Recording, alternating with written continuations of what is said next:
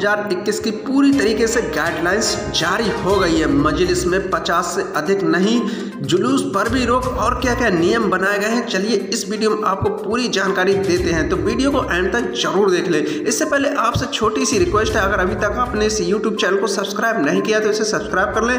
Video को like और share ज़रूर कर दें। तो क्या गाइडलाइंस जारी हुई है? चलिए जान लेते हैं। मुहर्रम को लेकर गाइडलाइंस जारी की गई है कि गाइडलाइंस के मुताबिक मजलिसों में 50 से अधिक लोग शरीक नहीं हो सकेंगे, कोई भी जुलूस नहीं निकाल पाएगा।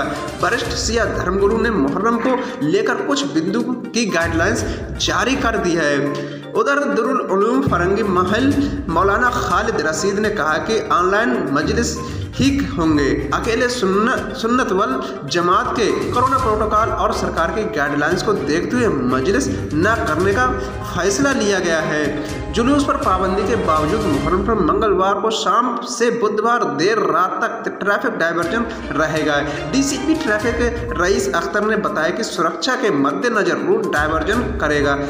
पक्का पुल में बड़ा व छोटा इमामबाड़ा तक वाहनों के लिए मार्ग बंद रहेगा।